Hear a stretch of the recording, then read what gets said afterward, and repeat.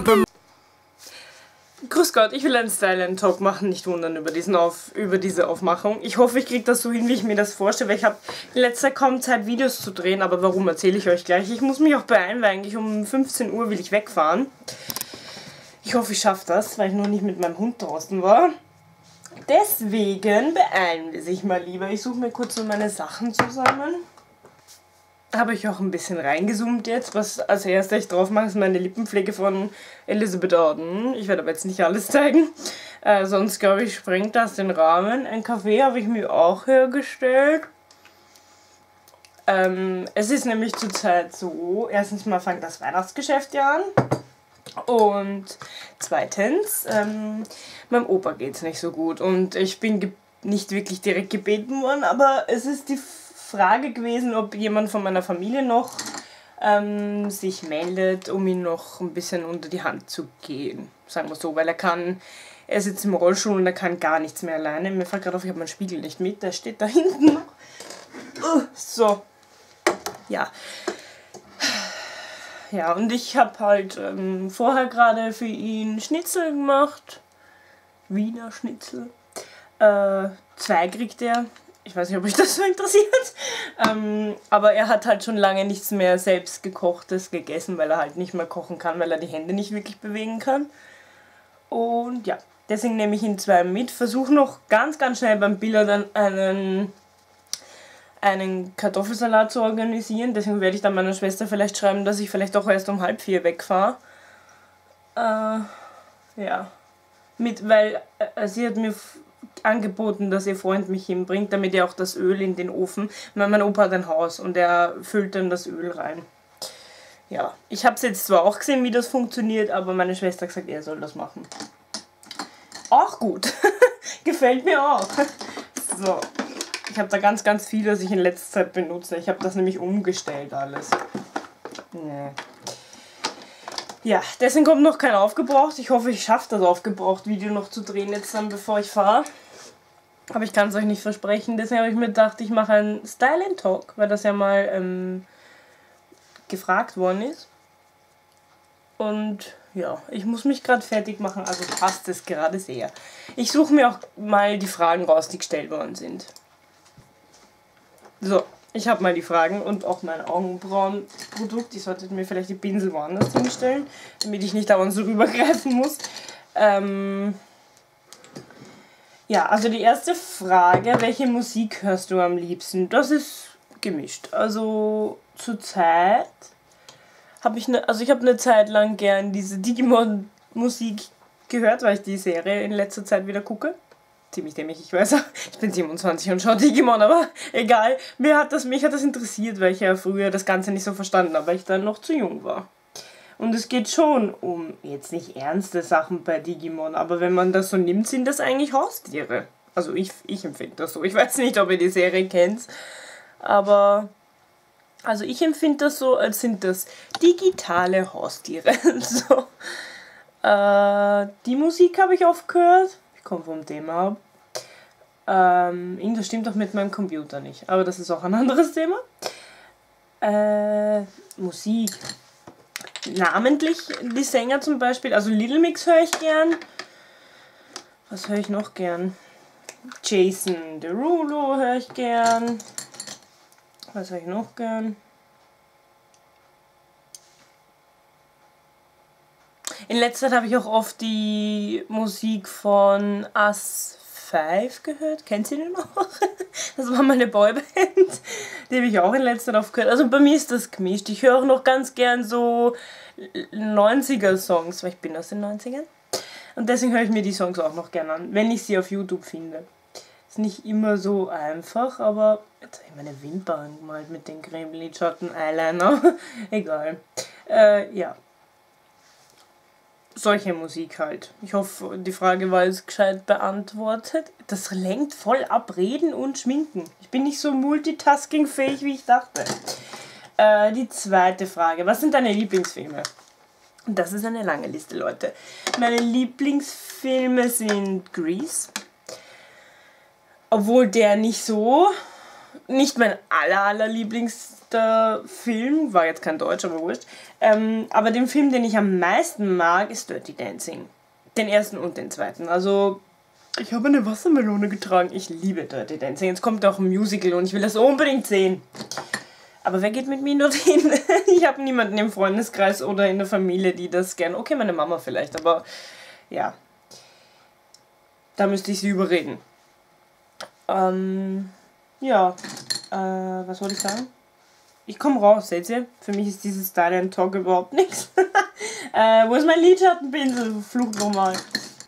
Ich schmier mir jetzt gerade drei verschiedene Goldtöne drauf, beziehungsweise vier. Ich kann euch das schlecht zeigen, glaube ich. Einer von Yves Rocher, einer von Catrice, äh, noch einer von Yves Rocher. Ich wollte so einen Weihnachtslook machen, aber irgendwie ist das nicht so gelungen, wie ich mir gedacht habe. So. Also, weiter. Filme. Lieblingsfilme. Ich mag auch die Säulen der Erde total gerne.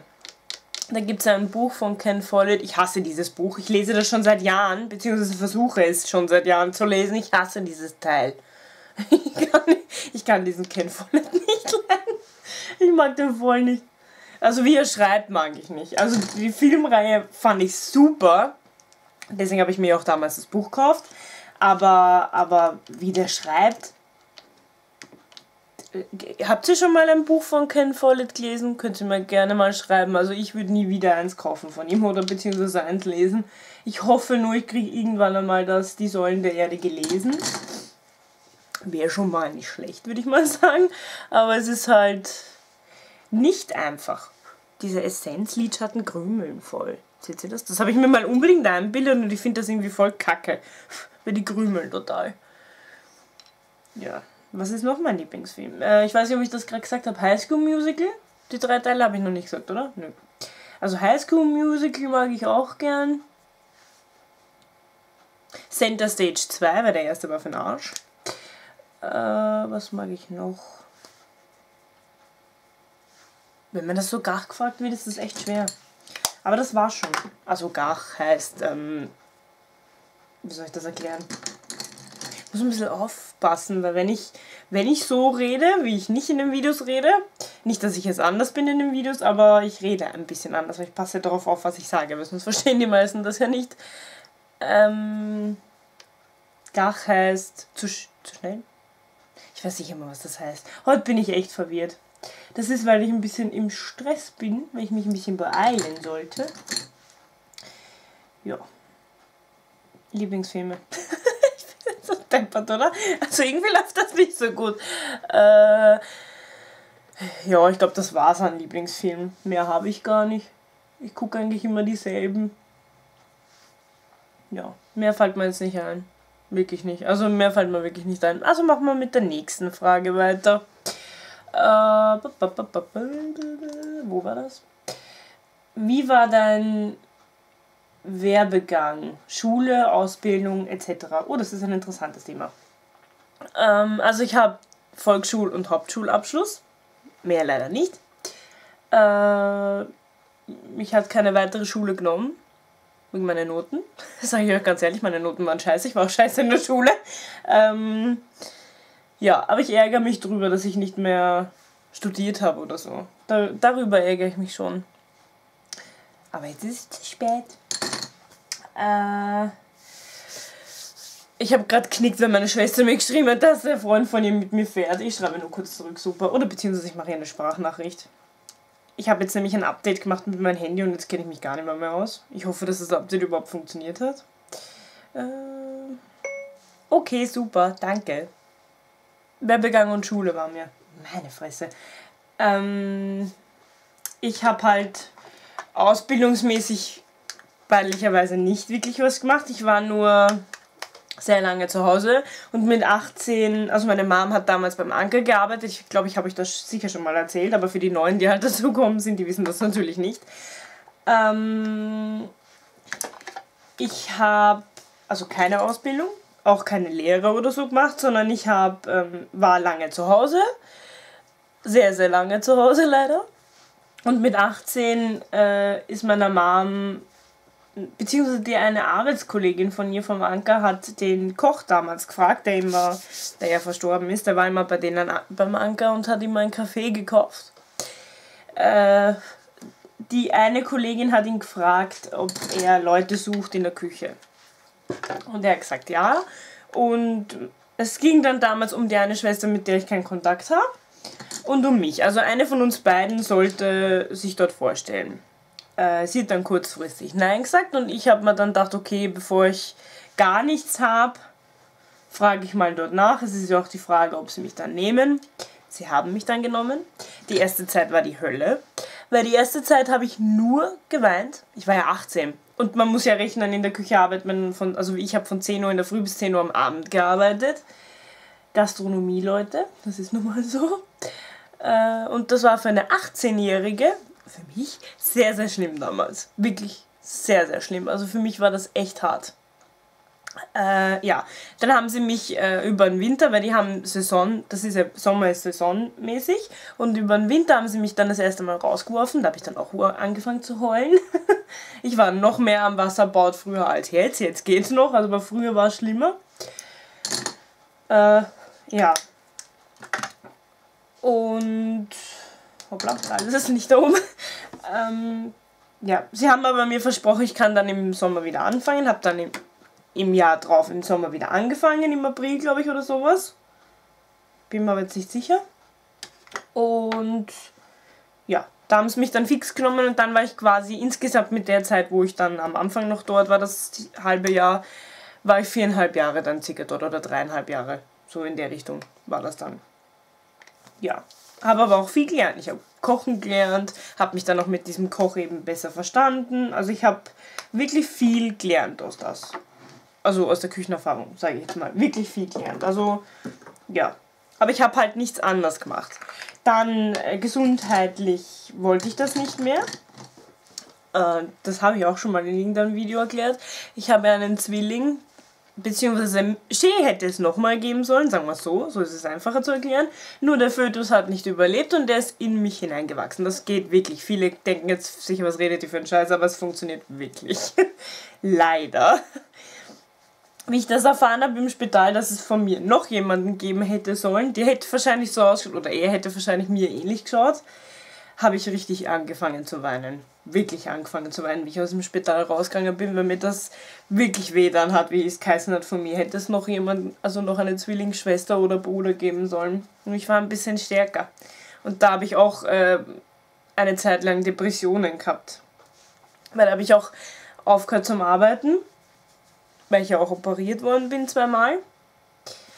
Äh, deswegen habe ich auch aufgehört zu arbeiten. Aber er ist noch immer nicht ganz weg, er ist noch immer da. Ja. Also das hat echt weh dann, wie ich gehört habe, dass... Ja. Und es hat halt wirklich an mir genagt. Ich habe mir dann Vorwürfe gemacht. Vielleicht hätte ich ihn, hab, war ich dran schuld, weil ich habe schon oft gelesen, dass ähm, viele ähm, wie soll ich das sagen? Ich habe halt oft gelesen, dass ähm, viele behaupten, dass der andere Fötus schuld dran ist, beziehungsweise dass man das selber auch denkt. Und das dachte ich dann auch eine Zeit lang, dass ich schuld dran war, dass ähm, der andere nicht da ist. Aber da kann man nichts dagegen machen, leider. Viele merken das auch nicht mal, ähm, weil die Ärzte, ich habe das auch gelesen, viele Ärzte versuchen das zu verheimlichen falls bei der Be Geburt noch ein Stück von anderen Baby rauskommt. Klingt voll ekelhaft. Ich habe aber mir das alles mal durchgelesen. Ja, also ich hoffe mit dieser Horrorgeschichte. Horror äh, deswegen habe ich dann aufgehört, in der Küche zu arbeiten. Aber ich gehe dort urgern hin, weil die haben mir eine Zeit lang zugesperrt gehabt, diese Küche, wo ich war. Und jetzt aktuell haben die wieder aufgesperrt und ich gehe dort voll gern hin. Muss immer wieder hin. Weil da arbeiten noch ein paar Leute, die ich noch kenne von früher, wo ich dort war. Und das ist immer voll lustig, wenn die mich dann sehen. Ich war ja früher dünn und jetzt bin ich ein bisschen stärker und schaue anders aus. Also die haben mich eigentlich quasi nicht ganz aufwachsen, aber sie haben mich halt, no ja, man kann schon sagen, erwachsen werden. Das haben sie mitbekommen. Besonders der eine Koch hat das mitbekommen, der was verstorben ist. Was mich auch sehr getroffen hat. Aber ja. Ähm, ja, und dann habe ich eben, ich muss ein bisschen schneller reden, sonst wird das Video viel zu lang. Sind jetzt schon 16 Minuten, heilige Scheiße. Also ich höre jetzt auf von dem zu labern und fange mal mit dem an, wo ich ähm, äh, ich mache jetzt schneller, weil das Video wird sonst zu lang. Ich habe halt dann ähm, lange Zeit keine Arbeit gehabt, bin dann auch in Depression verfallen. Klingt ziemlich dramatisch, ich weiß. Äh, was war noch? Dann habe ich aber angefangen bei Yves Rocher zu arbeiten. Das müssten viele noch wissen, die was halt länger dabei sind. Könnt ihr mir gerne mal schreiben. Das würde mich nämlich interessieren, wie lange ihr schon meine Videos schaut. Also ab wann ihr das mitbekommen habt. Dann bin ich ja dort rausgeflogen. Die haben mich gekündigt. Ja, nach sechs Monaten, also nach einem halben Jahr. Äh, und dann war ich einen Monat beim Douglas, muss aber sagen, das hat mir überhaupt nicht gefallen. Habe aber dann anschließend gleich, äh, das war alles hintereinander dann. Kurz nach, bevor ich da rausgeflogen bin beim Mifushi, habe ich gleich beim Douglas was gefunden. Und der Beauty Blender scheiße, nur zur Information. Das ist der, den ich mir gekauft habe, auch ähm, beim TK Den finde ich nicht so gut, der ist viel zu hart. Aber egal, für die Zwecke, die er soll, reicht das. Also machen soll, reicht. Ähm, ja.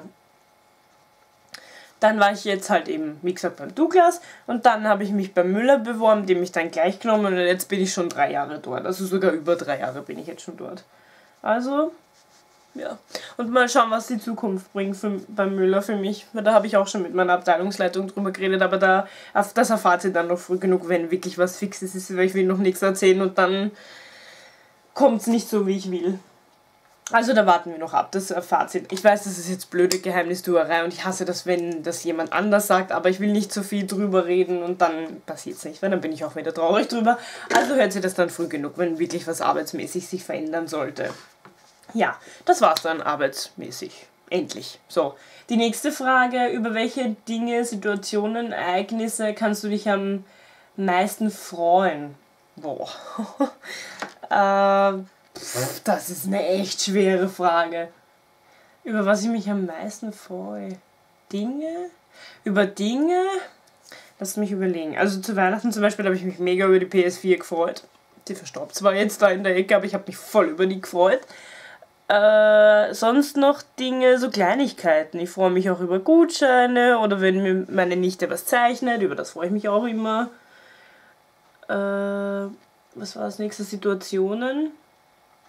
Äh, was mich freuen, wenn mein Bruder, meine Mama und ich unsere fünf Minuten haben. Da drehen wir manchmal so richtig durch und fangen wegen jedem Blödsinn an zu lachen und reden auch jeden Blödsinn. Da sind wir richtig, haben unsere richtigen fünf Minuten, reden auch urlustige Sachen und das freut mich immer. Also solche Situationen freuen mich am meisten, wenn ich mit meiner Familie lachen kann, weil ich habe nur meine Mama und ähm, die andere Familie, Mama Seite, die kennen wir kaum, Papa Seite kennen wir zwar schon, aber da habe ich jetzt nicht so den Draht dazu. Äh, ja. Also freut mich das, wenn wir untereinander auch viel lachen. Das macht so Spaß. Ja, Ereignisse ist ein bisschen schwieriger. Da fällt mir ehrlich gesagt jetzt gar nichts ein. Situationen, Ereignisse. Nee, da fällt mir jetzt nichts ein. In letzter Zeit ist es schwer, mich irgendwie äh, zu freuen. Keine Ahnung wieso, aber in letzter Zeit ist das echt schwer. Machen wir die nächste Frage. Was, ist, was wäre dein größter Wunsch? Habe ich doppelt stehen, wieso? Keine Ahnung. Ähm, was mein größter Wunsch wäre, größter Wunsch? Hm, dass ich jetzt noch viel von meinem Opa habe. Das ist mein größter Wunsch, weil ich kenne ihn ehrlich gesagt doch nicht wirklich. Was mich auch sehr traurig macht. Was ist denn da? So, ich kenne ihn halt sehr, sehr wenig. Ich kann mich nur erinnern, dass wir früher immer mit meiner Oma und mit meinem Opa auf den Tschechien waren. Also mit meinen Eltern. Das ist das Einzige, woran ich mich erinnern sorry, wenn ich so rumkram, dass ich arbeitsmäßig mich verbessern kann. Weil ich habe das Gefühl, dass ich so an einer Stelle stehen bleibe. Darüber habe ich eh schon mit meiner Chefin geredet. Also ich möchte gern, weiß nicht, irgendwas, irgendwas, irgendwas machen. Irgendwas, irgendwie, wie soll ich das erklären? Wir haben ja auch nicht so viele Marken. Also ich würde gern mit ein bisschen mehr Marken oder so, aber das werden wir mal sehen, wie das dann wird oder nicht wird. Werden wir sehen. Jo. Äh, ich habe aber auch ein bisschen Angst, ähm, weil die eine hat mir gerade geschrieben, jetzt wieder wegen meinem Opa. Sie hat mir geschrieben, ich soll gucken, dass er seine Tabletten genommen hat. Das macht mir ein bisschen Angst. Als 27-Jähriger einen 77-Jährigen vorschreiben, dass er seine Tabletten nehmen soll, ist nicht wirklich lustig, aber schauen wir mal, ob ich es hinkriege. Wir werden sehen. Ich hoffe, ich schaffe das. Oh Gott, schon halb drei. Die Zeit vergeht. Die Zeit vergeht. äh, ja. Sonst wünsche ich mir eigentlich nichts. Das ist eigentlich das Hauptsächliche. Dass wir ihn auch noch lange haben, das wünsche ich mir auch noch. Also ihm geht es zurzeit wirklich schlecht und ich wünsche mir, dass wir wirklich noch lange was von ihm haben. Wirklich noch lange was von ihm haben. Ich hoffe, dass alles gut geht. Und ich hoffe, dass ich das auch lang durchziehe. Weil ich habe ja meistens nur einen Tag frei. Diese Woche habe ich halt zwei Tage frei, aber meistens habe ich nur einen Tag frei. Deswegen hoffe ich, dass ich das schaffe. Äh, ich hoffe, das Video wird nicht zu lang, aber wenn es zu lang wird, macht es auch nichts. Scheiß drauf. Scheiß einfach drauf. Ähm, ich werde jetzt schnell mal meinen Eyeliner-Strich ziehen und dann komme ich gleich wieder. So, ich habe meinen Eyeliner gezogen und habe die untere Linie gemacht, aber in meinem Auge. Äh, irgendwie bin ich dafür heute zu blöd. Ja, jetzt mache ich noch Mascara, Rouge und Highlighter und dann bin ich Gott sei Dank fertig. Mit den Nerven. Lippenstift gebe ich mir jetzt keinen auf, das mache ich dann später, bevor ich fahre. So, der hält eh nicht, das ist einer von Essenz. Äh, ich muss nämlich näher zum Spiegel.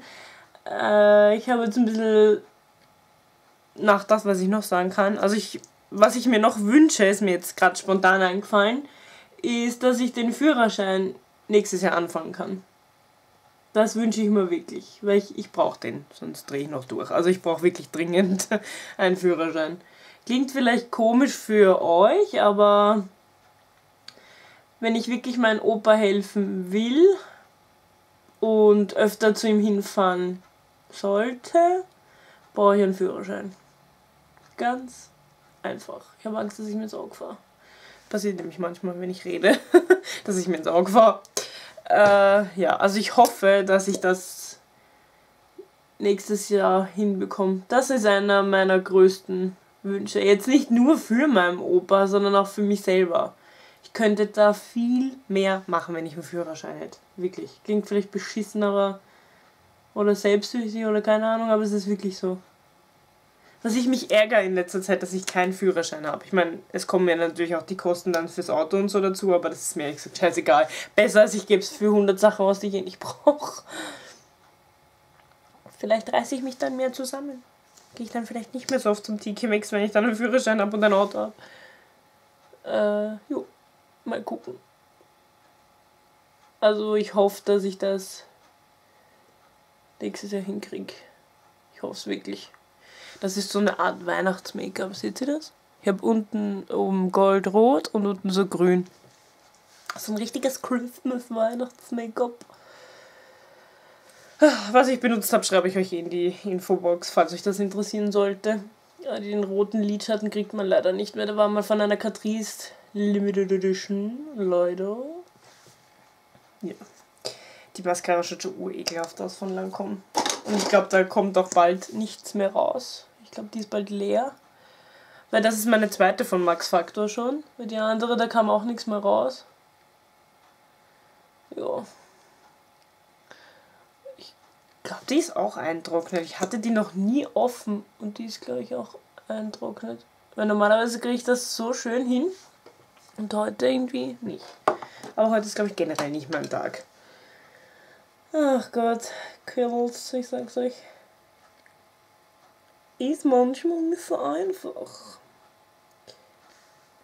Ich habe das Gefühl, ich habe da vorne keine Wimpern. ich hab, ja, wirklich nicht. Ich brauche eine Brille, Alter. Ich, brauch, ich muss unbedingt zum Augenarzt. Das ist auch was, was ich machen sollte. Ich sollte mir meine Füße anschauen lassen, weil ich habe oft extreme Fußschmerzen. Dann sollte ich endlich mal zum Augenarzt gehen, weil ich sehe kaum was. Wirklich. Oder mir wenigstens einen Vergrößerungsspiegel kaufen. Der Müll hat einen ganz cool mit Licht. Vielleicht kaufe ich mir den. Alter, kommt da nichts raus? Kann ja nicht sein. Ich benutze ein MAC Rouge. Bam in your face. Das Problem bei dem ist, ich schaue immer so aus, als hätte mich wer verprügelt, wenn ich das drauf tue. Schau, so eine Scheiße. Naja, es geht. Gestern war schlimmer. Gestern war es wirklich schlimmer. Das ist, wenn man monatelang dasselbe verwendet. Ich habe ja oft das Catrice Blush jetzt benutzt, dieses Creme Rouge, wo ich ja nicht Pen habe. Und jetzt will ich unbedingt was anderes verwenden, weil es halt so in die Weihnachtsrichtung gehen soll, also so roh pink, sowas. Aber irgendwie. Ich habe auch eine Schicht von dem Creme Rouge von MAC runtergenommen, weil das so. Bäh weil es so komisch war. Es hat sich nicht auftragen lassen. Heute lässt sich ein bisschen besser auftragen. Und ich sollte mir endlich meine feuchten ähm, Kosmetiktücher wieder daherstellen. Diese, ihr wisst schon, diese, ihr wisst schon. Ja, sicher wisst das.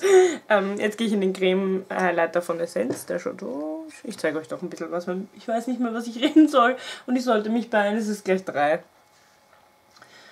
Ah, ich wollte das Aufgebraucht-Video noch drehen.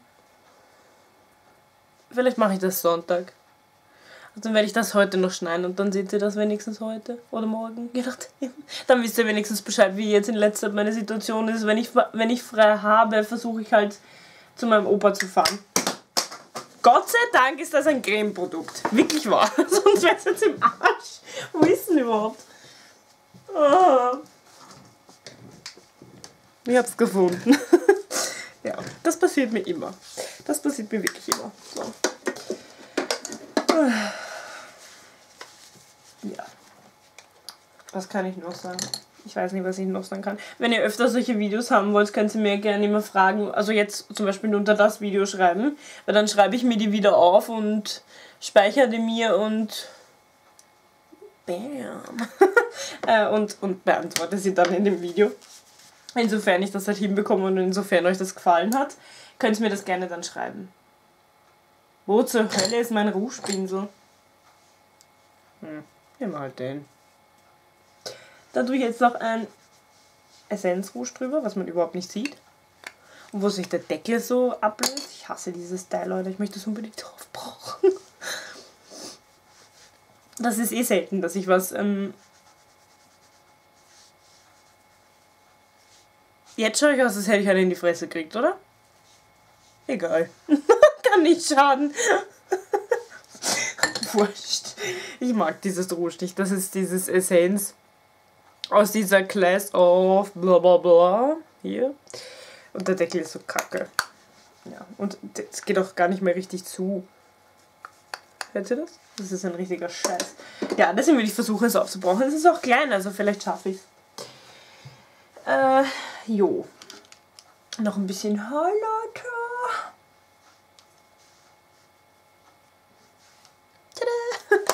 So, ich habe jetzt keine Bürste, jetzt werde ich sicher auch schon wie ein Klobesen. Bist du deppert. Äh, ich schaue aus wie ein Klobesen. Ich habe mir ein bisschen Volumen vorher reingeföhnt, aber ich glaube, das war ein bisschen zu gut gemeint. Hm, ja. Ich hoffe, euch hat das Video trotzdem gefallen. Ich bin fertig, die Lippen mache ich später. Äh, ja, also wie gesagt, ich drehe mich mal zu euch. Oh, sorry. Also wie gesagt, wenn ihr ähm, ich habe nämlich noch einen Fashion Haul, der kommt dann nach dem Video online, ein New Yorker Fashion Haul. Ich weiß, ich habe vor kurzem jetzt einen dreht, aber ja. Und das aufgebracht und so kommt noch versprochen. Also ich hoffe, euch hat das Video gefallen. Ich hoffe, es ist nicht zu lang und ich hoffe, dass es überhaupt anschaut. Ähm, aber jetzt wisst ihr, was ein bisschen los ist bei mir und ich hoffe, ihr könnt es ein bisschen nachvollziehen. Ich will mich ein bisschen mehr auch um meinen Opa kümmern. Ich werde jetzt YouTube nicht vernachlässigen. Ich habe auch vor, auf meinem anderen Kanal ein Video hochzuladen. Das wird auch jetzt dieses Wochenende bald passieren. Irgendwie schaut das richtig voluminös aus, oder? Normalerweise kriege ich das nicht so hin. Ich habe auch mehr Föhn. Schau mal reingehen, vielleicht liegt. Egal. So, äh, das war's jetzt mit dem Video. Ich hoffe, euch hat es gefallen. Äh, Schreibt es mir einfach schreibt es mir einfach. Ich weiß sonst nicht mehr, was ich sagen soll und ich werde jetzt das Video beenden, sonst wird es wirklich noch zu lang. Und wir sehen sich dann im nächsten Video wieder. Bye! Au!